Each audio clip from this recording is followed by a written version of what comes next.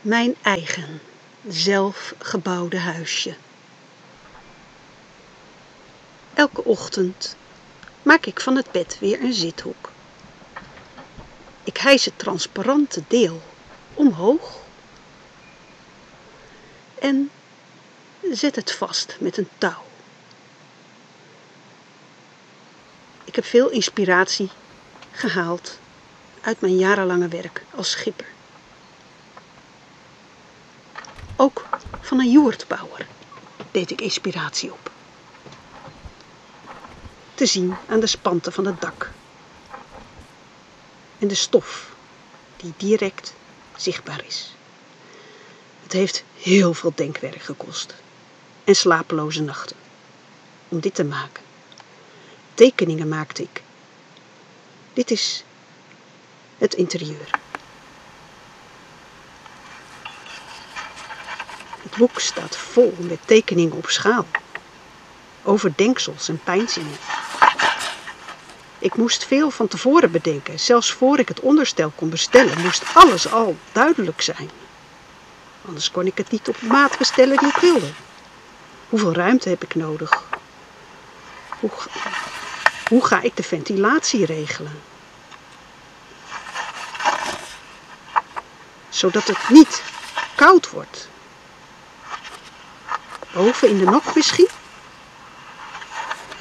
Ik maakte een dampkap.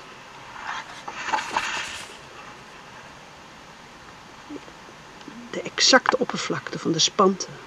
Het glas- in loodraampje wat iemand voor mij maakte. Het moest allemaal een plek krijgen. En het enige wat dan werkt is een chronologisch werkboek.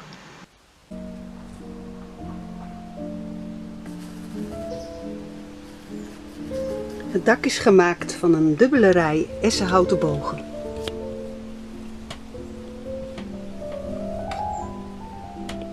Ze zijn sterk en veerkrachtig. De ronde vorm maakt het zo sterk en ze zijn geheel zonder noesten.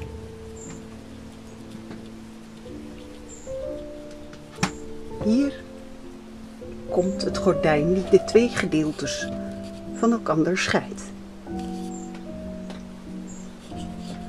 Nu is alles open, maar straks is dit helemaal dicht. Het enige licht komt van boven. Het daklicht. Dat eindigt in een prachtig glas in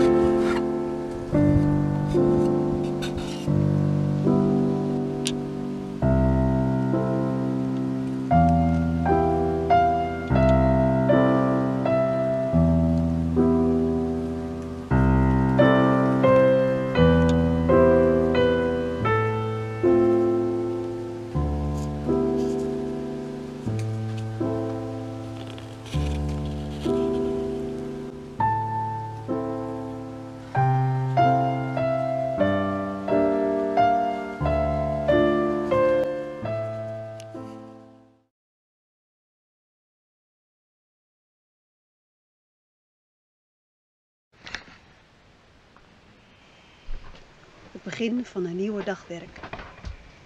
Vandaag ga ik het buigtriplex over het dak heen leggen. Hoi. Het is hier een beetje donker. En dat komt omdat het dakzeil over het daklicht heen ligt. Zo ziet het er nu uit. Deze lange lat is nu het belangrijkste. Daar komt het buigtriplex overheen.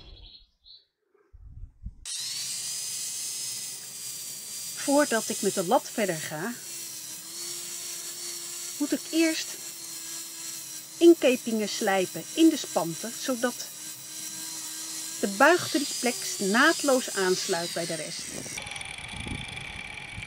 Want anders krijg je plasjes.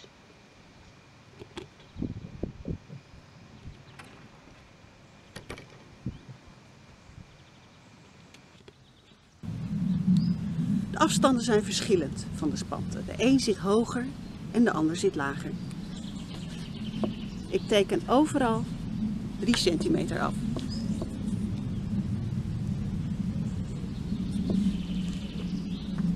Onafhankelijk hoe groot het gat eronder is, houdt mij aan die afstand.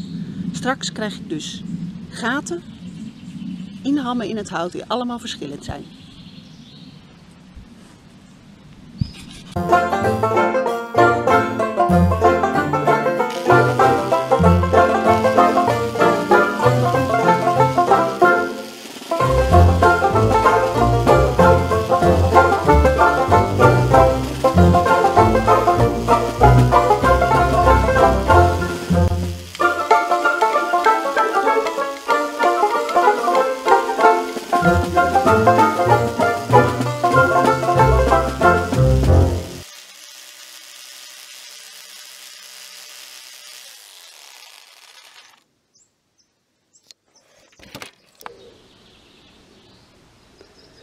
Ik heb de grote er even afgehaald en nu kon ik hier mooi werken.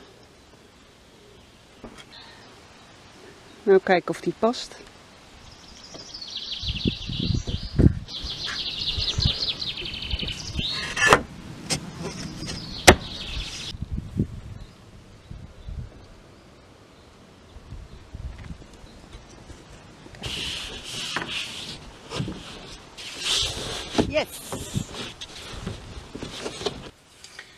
Belangrijkste om je droom te realiseren is denk ik dat je het niet te groot maakt. En een tweede, dat de tijd die je ervoor neemt, dat die leeg is. Dat het een soort ja, heilige tijd wordt. En ik heb hier nu een paar jaar voor genomen om helemaal me aan te wijden aan dit bouwen. Maar het kan ook zijn dat je werk hebt en dat je een dag per week eraan kan besteden. Nou, laat die dag die dag zijn en laat het jaren duren. Wat maakt het uit? Ja, uiteindelijk komt het er.